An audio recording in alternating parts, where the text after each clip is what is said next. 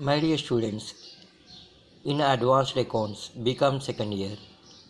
For backlogs, prepare these theory important questions. You have seen the previous question paper where you got more and more theory questions, and this time also 30% of the theory is expected. And one compulsory question is what do you mean by profit prior to incorporation? Either this or whatever material you have from there you can prepare. One of the important question, my dear student.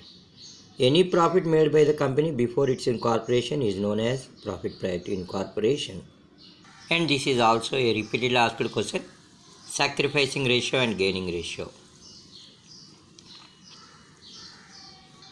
In a repeated reader, I find these two important questions of calculation of sacrificing ratio and distribution of goodwill, which is very important. This textbook is very good, my dear students. This is uh, Frontier Publications, I think. Uh, and these are the remaining important questions, my dear students, where you need to have a look on this and you need to prepare.